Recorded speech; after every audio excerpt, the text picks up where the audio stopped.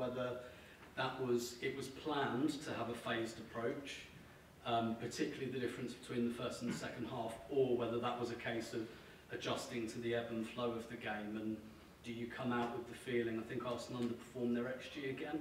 That maybe Arsenal didn't make the most of their chances as well today. It's a lot of questions in that question, Tim. but yeah, but I'm trying to, to answer them correctly. Yeah, I I think you're right in a game like this that there are different phases in the game, and I think that's part of what makes a game like this so stimulating.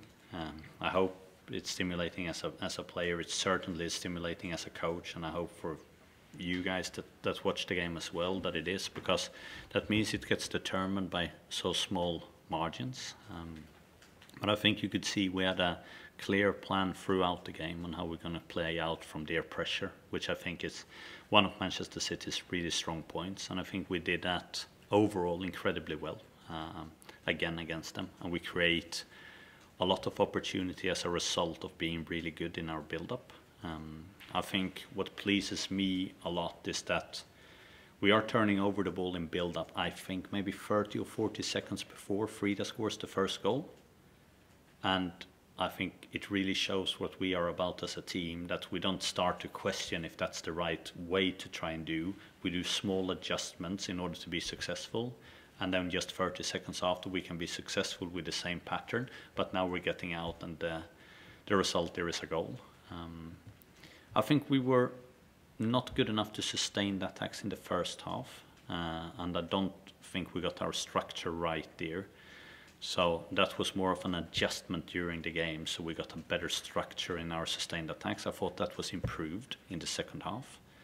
Then it comes into sort of the phases in press, and yes, there we varied a little bit more, being like where we're in a mid block, where we're in a higher um, higher pressure, um, where we lower and, and looking for transition opportunities. And I think that's where we were as most flexible in the game, trying to create different pictures and being without the ball, still being able to be in control as an idea and controlling the spaces where we allowed them to have the ball and understanding when we want the ball, where we wanted to, to hurt them.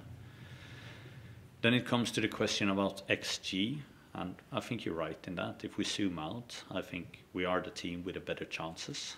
Um, and especially if you consider the goal that we got ruled out for offside, if that's now an onside, that would have increased uh, both goal tally and XG uh, with, with a lot. But they also have some chances in, in the game, and I think we once again shows an incredible morale as a team coming in a difficult situation, being 2 win, two one down. And after that second goal they score, I think we have a tough momentum against us for a five ten minute period. But we managed to turn that around with changing the way we press a little bit, with changing some personnel. And once again, we can start creating chances, and we see the importance of having a really strong squad, not only a starting 11, but a finishing 11.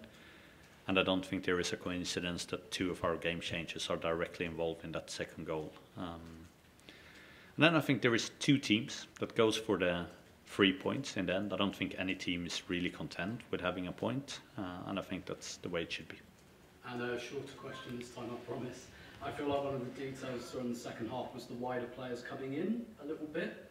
Um, but also I wanted to ask you about Rosa Kafaji. You played her off the left when she came on, which you know, I think we think of her more as a central player, but you moved Mariona inside, and that's where the equaliser comes from. What what was it that made you do that? I, I think it comes down to qualities uh, that that you want to utilize at at the time. I think Rosa can play both on the as a wide forward. She can play as a nine. She can play as a ten. Uh, you get really good attacking runs from Rosa. She's a good finisher. She's a great one v one player, and uh, Sometimes in games that's easier to utilize those qualities on the on the side. Um, and I think a lot of times when you are looking at when we are winning the ball and it comes in transition moments against Manchester City, it's our wingers that will end up coming in the ball and being in these decisive moments. And I thought that was really important to try and keep fresh legs as a part of the game plan on the wingers because those are going to be the in, in the most deciding moments on, in the game, and that was part of the plan of playing then both Rose and Beth as, as wingers because they're going to have the freshest legs at, at that time. Cheers, Tim. Okay. Um, hi, Jonas. Um, can I just first ask about Leah Williamson? You know, she's in the concussion protocol. How close was she to playing today, and what's her state at the moment for Thursday? Not close to play today in a concussion protocol. Um, I have to be guided by, by our medical team when she can return to play. Um, thank you. And can I also ask um, about why you made a change up front in the starting 11 with Blackstenius coming in for Russo? Um, as we know, Stina's got a very good record against City, but kind of what was, what was the thinking behind that change? I, I think the thinking about that change was to knowing that in the first half that we knew it's going to be spacing behind them, both when we win the ball against them, because we were a little bit lower in our approach defending, but also when we are playing out of their high pressure, that that's going to be moments to go in behind. And um, I think you could see that in the first half that, that Stina was coming to a number of opportunities and had a number of good runs. Uh, and, and that was the reason why I thought it was good to start her. And then when legs got a little bit more tired, then we got on Alessia. And what was going through your mind when Viv, Viv got her equaliser? Um, because it was her, Yeah. nothing. It's, it's, it's a player scoring a goal against us. For, for me, it doesn't make any difference. That's good. Emma. Hey Jonas, you sort of touched on the second City goal and the fact you've had to show a lot of resilience to come back from it. Just wondered, did it make it even tougher throughout the 90 minutes, the timing of, of City's goals? Obviously, the first one coming just before half, uh, just before half time, and that second one coming when you were kind of on top, and then they scored that, and then had that period where they dominated a little bit. A goal changes football matches um, to a point. Of course it does, but I think again it's so important to, to show the resilience in, in these moments and understanding that when you're playing against another top team, momentum are going to shift during the game as well. And I think we're in a tough period after we concede the second goal, and um, with a combination of hard work and good defending play, we managed to not concede a third, and that gives us the the foothold that we need to come back into into the game. But it's so important to manage those periods as a football team. Mark. Hi guys, um, Gareth when he was in here described it as like a final and you said it was really stimulating. I was just wondering from a coach's perspective, how is it actually emotionally when you're when you're on the touchline, when you're that close to it and everything's just kind of happening around you? How do you actually feel emotionally in those moments?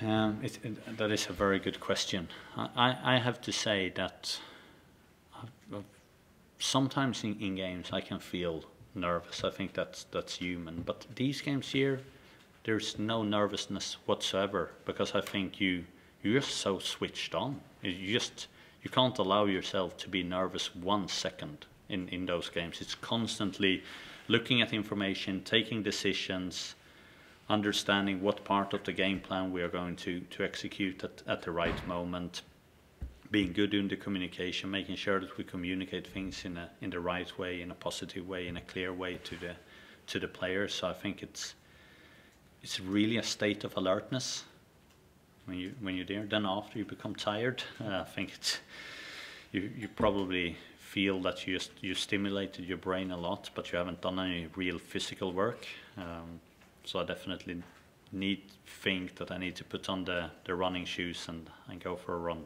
later today. I was going to ask, I'm not sure if you've switched off already yet, but obviously it's a big day for Arsenal in general, so are you going to be able to manage to watch the men's game uh, against City as well in about an hour's time? I certainly hope so, because it, or I certainly hope so, um, because it's it's a great football game, not only as an Arsenal supporter. Uh, I mean, I think the whole world is going to watch that game. It's two of the best teams globally that has had so many interesting tactical battles over the years. I think we're all looking forward with excitement to see that game. Should. performance today. Of course, she had a great block in the first half, but what you made of her today and how you see her role evolving through the season?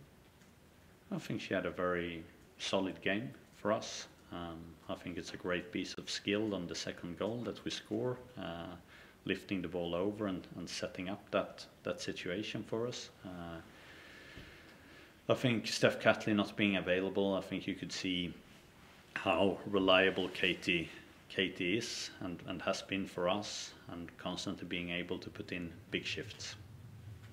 It should Emily. Um, Linus, when we were in the US, we talked a little bit about the phases you go through for the team, and you kind of said at this point in the season you wanted to be in that kind of performing, if not the kind of the norming stage. And I'm just curious whether um, that's kind of where your assessment is of, of the team currently, whether you're still ironing some of those those kind of communication things out at the minute. Um, I, I think realistically you are doing that because we still haven't had that much time together. So, so of course we're still in that process of constantly finding out what's what's going to work best for us. I think Häcken was a prime example of that. I really thought that was a step backwards for us as, as a team performing. But sometimes you, how hard it is to do that. Sometimes that's what's necessary to, to have a performance like that because it becomes so clear to everyone what we need to do differently and what demands we need to have on each other to not make that happen again. And I think that's what defines a great team. It's the ability to learn, it's the ability to move move forward and put things past you and take the necessary lessons from that performance. Uh, so while I would hope that we just would be in a performing stage and, and everything just just flows. Um, I think we are at a great learning stage and we're going towards the performing stage. Thanks, Emily. Last one from you, Sandra. Uh, hi, Ines. Um, just you mentioned game changers earlier, and just how important is it to have a game changer with the experience of someone like Beth Mead? Um, you know, just bringing what she does, particularly in high stakes, high pressure moments, but also seeing how she's now working with someone like Rosa Kafaji new and adjusting to the side. I think it's so important. I think it's important if we're going to utilize the squad to its full potential. Sometimes as a player, you're going to be a starting player. Sometimes you're going to be an impact player or a game changer. And what you own to the squad is that you do your very best in either one of those roles. And sometimes it's tough on the players that they want to start games. Of course, they want to do that, and to have to accept that today you're going to be a be a game changer and you're going to have an impact coming on from the from the bench. And I think that's what's so great working with these players that, yes, of course, they're disappointed not starting games, but they do understand what they're going to bring to the team, and they do that fully with 100% quality. And if we can keep that, we're a very, very strong football team. Awesome. We'll leave it there, guys. Thank you, guys.